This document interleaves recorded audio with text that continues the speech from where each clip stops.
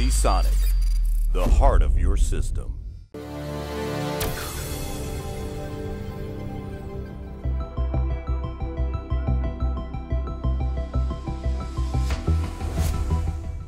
Alright guys, Dominic here for KitGuru and today we're looking at the new AMD Radeon RX 5700 and the new RX 5700 XT. So obviously as these are new cards, they're also built on a new architecture, which is the RDNA architecture. I'm just going to give you kind of a quick spec overview here because I really do want to dive into performance because obviously this is the most exciting thing. It's kind of a little bit of unknown quantity. We're really not sure exactly where these cards are going to slot into in the market. But so just for a quick spec overview, if you want to find a few more details and a few more specifications, you can head over to the written review on kitguru.net.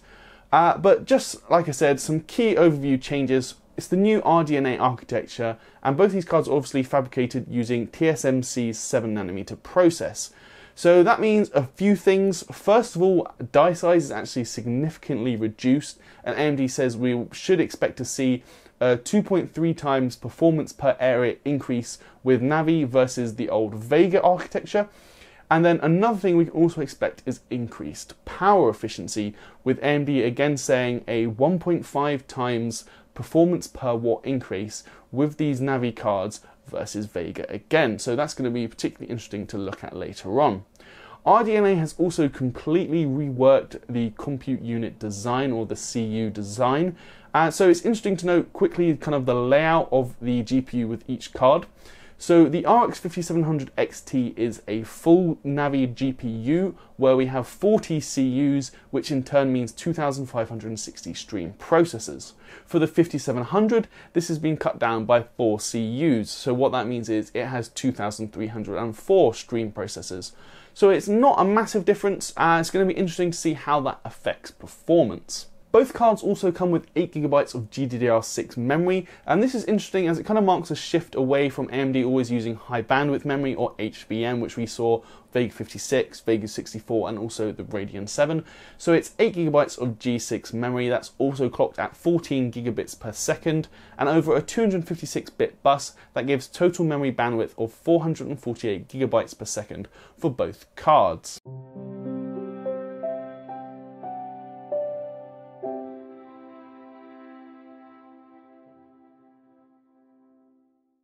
Now, we already mentioned the fact that the 5700 has slightly fewer stream processors. Obviously, that's going to be one thing which reduces its performance. And the 5700 is also clocked slightly slower as well. We're going to look at uh, kind of typical game boost clocks. AMD's done something a little bit different with uh, how the whole clock speed thing works. So we're going to look at that later on in the review. But just to give you some initial figures, the RX 5700 has a rated boost clock of 1725 megahertz, while the RX 5700 XT has a rated boost clock of 19 and 5 megahertz. So there's a reasonable difference there. But like I said, we're going to touch on clock speed later on in this review.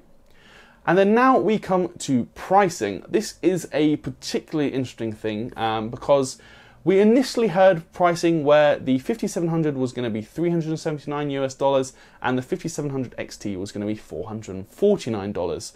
Just for, for the UK viewers out there, the, for this whole video, the only things I'm going off are US dollars. We're still waiting for confirmed British pound pricing at the time of filming. But initial US pricing was going to be $379 for the 5700 and then 449 for the XT model. However, on Friday, so just two days before the launch, AMD actually got in touch with us and they said, hold on a minute, we're cutting the prices. So now the 5700 starts at $349, whereas the 5700 XT starts at $399, and those are the MSRP prices. So this is actually quite significant in the fact that initially it looked like the 5700 was basically taking on NVIDIA's new RTX 2060 Super, and the 5700 XT was going to kind of slot in between the 2060 Super and the 2070 Super. Now, however, AMD has kind of effectively shifted the goalpost. So the 5700 is ex priced exactly the same as the original RTX 2060, and the 5700 XT is now priced the same as the RTX 2060 Super. So, just how well do these cards perform in relation to both the original 2060 and both the super models? We're going to find out right now. So, in this video, we're going to be showing you our 1080p and 1440p benchmarks. We did test both cards at 4K, but if you want to find that information as well as our full testing methodology, you can head over to kitguru.net. So, then our initial testing was kind of a little bit inconclusive with 3D Mark Firestrike and Time Spy, as their scores weren't necessarily that consistent between one test to another.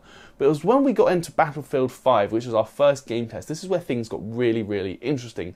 Simply because the 5700 was actually beating the 2060 Super and it was coming even closer to the 2070 Super. As for the 5700 XT, this card was actually a fair margin ahead of the 2070 Super, which so for a first game benchmark, this wasn't really the performance I was expecting. It was definitely in AMD's favour.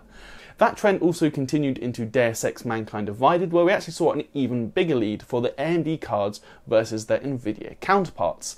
It was safe to say at this point in the benchmarking, I was kind of a little bit gobsmacked and I wasn't quite sure what was going on. Things do settle down a little bit as we go on further through the rest of our benchmarks, but we still see very solid performance from both cards. In titles like Far Cry 5, Ghost Recon Wildlands, and also Shadow of the Tomb Raider, we see the 5700 kind of slotting in between the 2060 and the 2060 Super, although it was really never that far behind the 2060 Super. As for the 5700 XT, this proved to be slower than the 2070 Super in all but two of our benchmarks, Although, that being said, it is faster than the 2060 Super in all but one of our benchmarks, so you can kind of see it as close-ish to the 2070 Super, but consistently faster than the 2060 Super. So then overall, while we can touch on kind of overall average performance of these cards, the one thing I do want to say, particularly with these cards more than any other I've tested recently, is that there is actually a lot of variation between game to game and also from API to API. If we take the RX 50 5700 as an example,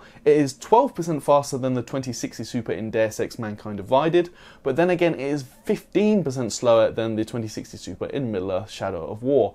So that is a really big difference. So overall, the 2060 Super is actually on average faster by 1%, but what that figure does is it really kind of hides all the individual kind of swings we're seeing from game to game. So one thing I would suggest is while we can give you kind of the overall average performance, if there's a particular game you're interested, I would strongly recommend you don't try and find the figures for that particular game, as we are likely to see quite a lot of difference with these cards versus their NVIDIA counterparts, depending on the game. For now, the last metric I want to look at is actually clock speed. So I mentioned at the beginning of this video that AMD was kind of being a little bit funny with what it was doing. That's because it's now giving us three different clock speeds. We're getting a base, we're getting a new game clock, and we're also getting a boost clock. So it's the game clock I want to focus on here, as this is basically the frequency you should expect from the cards while you're actually gaming.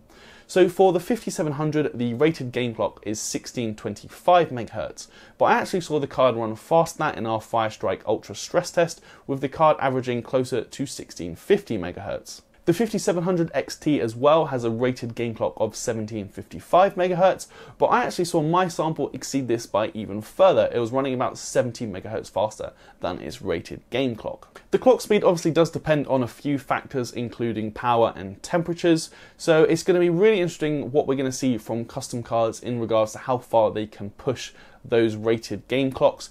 But for now, I did find my reference designs to be slightly exceeding the rated game clocks.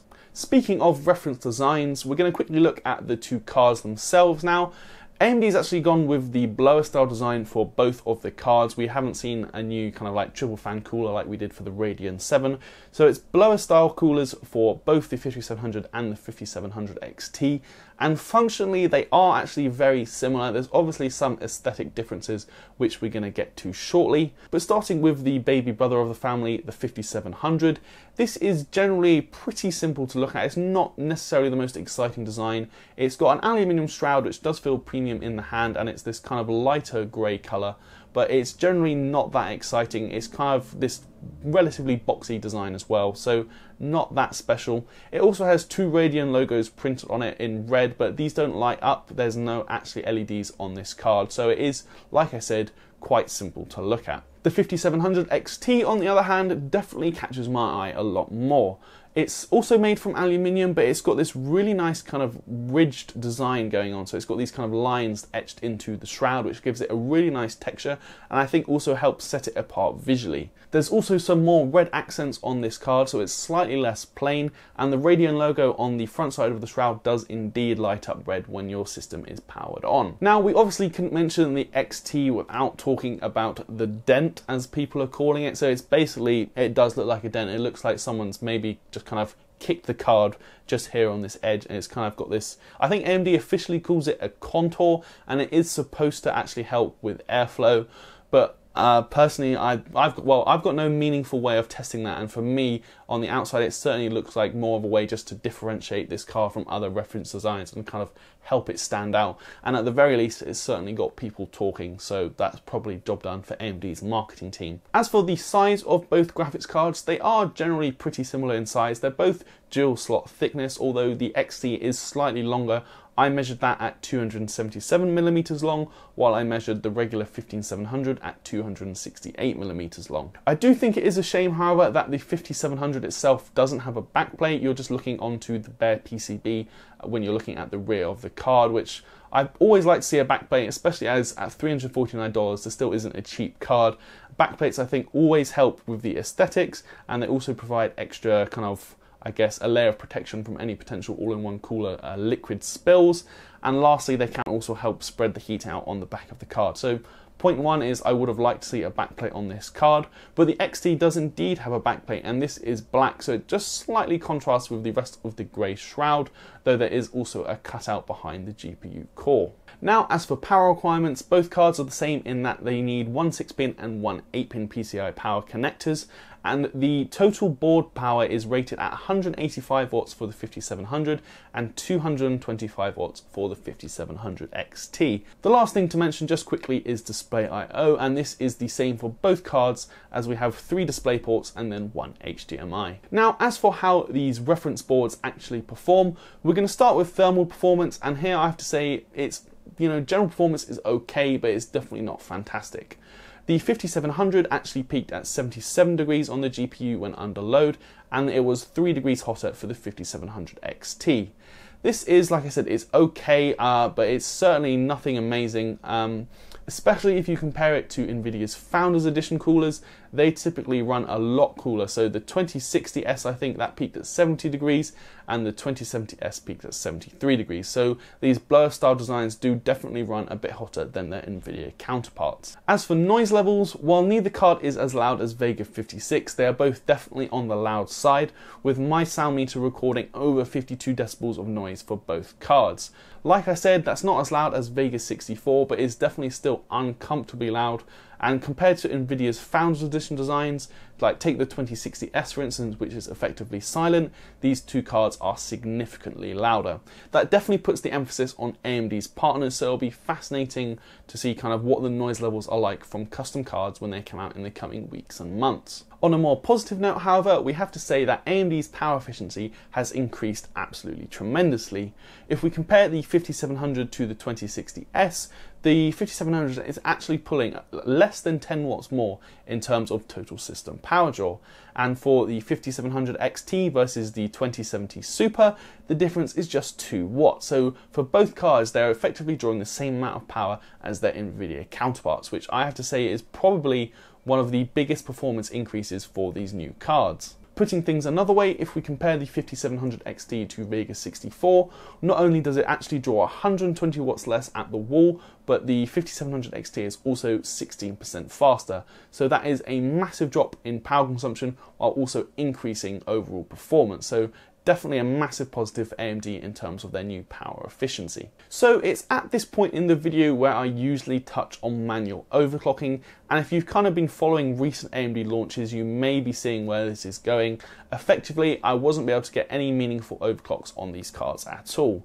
AMD is actually aware of this. They did send us an email and basically told us that the pre-release driver that was supplied to press just isn't friendly to any overclock. So Basically, what would happen was I could go into uh, MSI Afterburner or also using Wattman. I could dial in the frequencies, but basically they wouldn't stick, which is very similar to what I had with Radeon 7. So the end result was while the frequencies were supposedly changing, I wasn't actually getting any real difference to my Firestrike scores, for instance. So at the time of filming, it is definitely a big shame that I haven't been able to effectively test what overclocking these cards is actually like. Obviously, I am filming this the day before the embargo lifts, so if anything does change between now and then, I will of course update the description and we'll also put our results over in the written review on kitguru.net. But as of now, it is a big shame that we haven't been able to manually overclock these cards. So then, just to wrap up this video, there is absolutely no doubt in my mind that AMD has done something very unexpected but still very special with its new Radeon RX 5700 and the RX 5700 XT. So we all initially thought that the 5700 was going to go up against the 2060 Super and the 5700 XT was kind of going up against the 2070 Super, but it was also slotting in between the 2060 and the 2070 Super. However, what AMD did was they kind of I guess it was a masterstroke really in the fact that they cut prices ahead of launch. So where the 5700 was meant to be $379, it became $349. And where the 5700 XT was meant to be $449, that fell by $50 to $399. So that puts the 5700 right up against the 2060 and it also puts the 5700 XT right up against the 2060 Super. What this means is AMD has effectively managed to shift the goalposts massively in their favour. So the 5700 going up against the RTX 2060, this card is on average 13% faster. And if we look at the 5700 XT going up against the 2060 Super, that card is on average 10% faster. So that's 10 and 13% performance increases for effectively the same money. So I have to say that is just a clear win for AMD. There is definitely something to be said for Nvidia and its support for ray tracing because at the moment both these AMD cards there just isn't any support for ray tracing in games.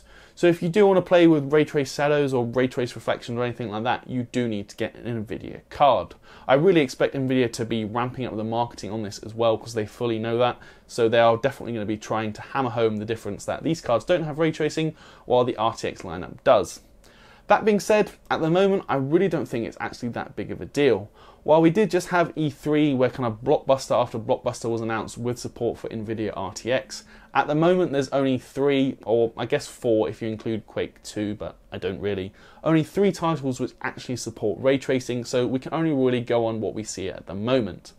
Even then, the 5700 is still faster than the RTX 2060, and the 5700 XT is still faster than the RTX 2060 Super. So if that isn't an absolute win for AMD, then I really don't know what is. So then, I'm Dominic for KitGuru, and this has been my review of the new Radeon RX 5700 and RX 5700 XT.